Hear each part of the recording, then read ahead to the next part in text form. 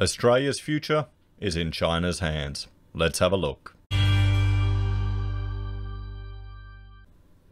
Hello everyone, Florian Heise here and welcome to another episode of Heise Says. Grab your stein of coffee, let's look at this article from CNBC discussing China prepares for a big annual meeting to chart a growth strategy. Now why am I saying our future here in Australia is in China's hands? Because in some way it is during the GFC, the Chinese stimulus program, well, provided insane demand for a lot of our natural resources. Now, I will bring up a website which I show many times, but which regulars are familiar with, but those new to the channel may not be. This is the Observatory of Economic Complexity, and once it loads up, you can see how many of our exports are heading to China, 39.1%. And if we click on this, it should show you, there you go, iron ore, petroleum, gas. These are just the, the physical exports, let alone property investment, let alone international tourism, which, it's, which itself is a $60 billion sector as well. And then you've got university education, $10 billion a year.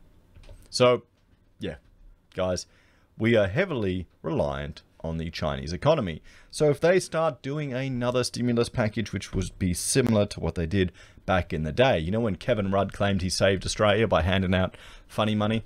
Remember when that seemed like a lot? The debt that Labor was running up then? Nothing anymore.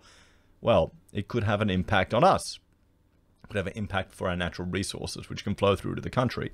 Now, I will bring up Google Earth. And what we will have a look at here is, I will jump over here once it loads up, is, well, there are two resources that we export significantly to China. And you can see you can see, hang on, iron ore and coal are, well, two decent sized ones. Coal is nearly 10 billion, nearly equal to international tourism. Iron ore is 55 billion. Petroleum gas is 11 billion too.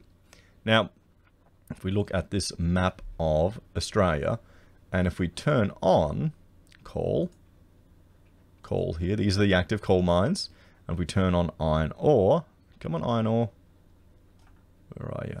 I'll find it up here, you can see the portions of the country, WA, Queensland, New South Wales, which are, well, reliant to some extent on these exports. So you can see here, you know, which states, you know, want to keep that export flowing. Makes you wonder why all these people, this is why people say Australians have such a huge carbon footprint because the hippies want us all to feel guilty about sending the, this natural resource overseas. It, it doesn't make any sense at all. Don't fall for it. It's just all rubbish. So let's look at this.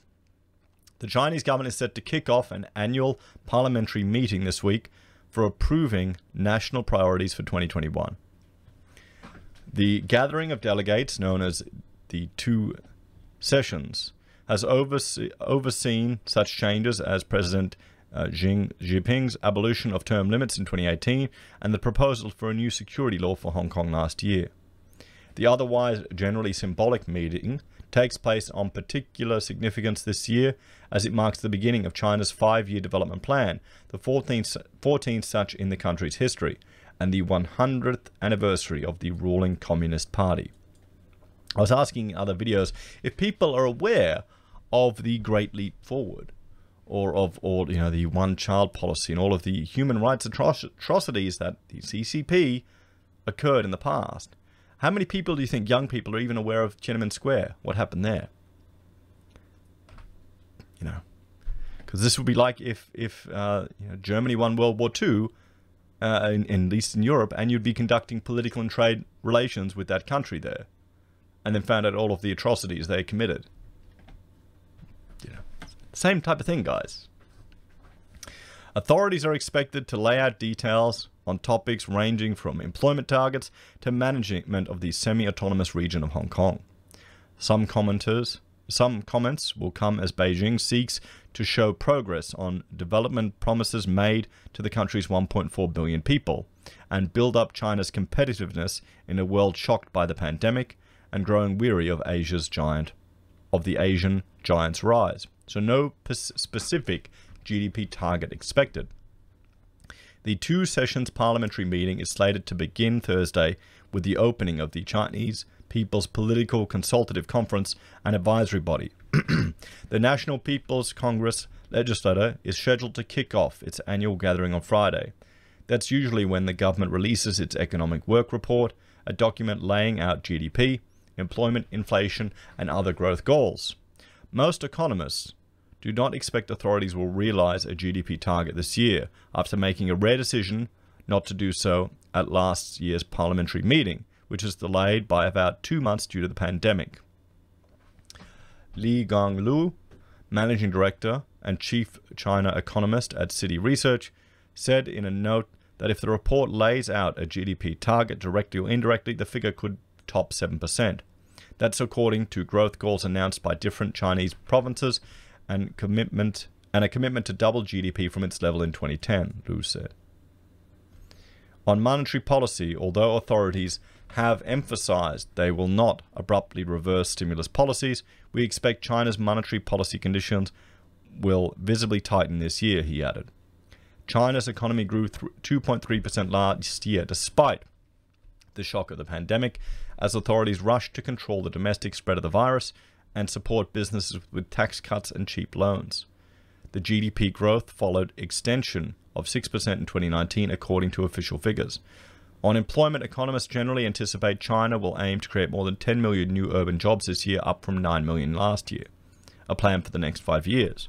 The parliamentary meeting will also share details on, on and approve China's 14th five year plan the development strategy for the world's second largest economy comes as it has reached historic trade agreements with the Asia, with Asia Pacific neighbors while facing greater pressure from a US that increasingly considers China a competitor.